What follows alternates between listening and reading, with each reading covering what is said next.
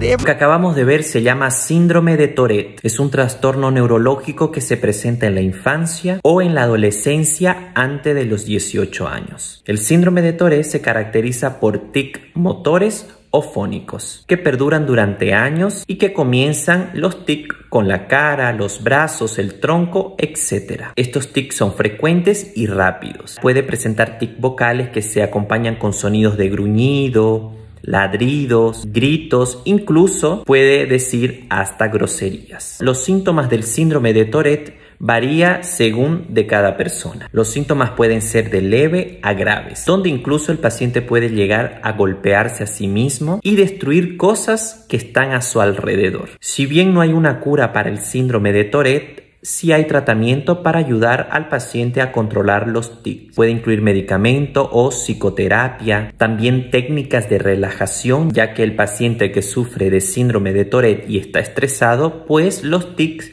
van a exacerbarse. Si te gustó este tipo de contenido, no olvides seguirme. Doctor David informa.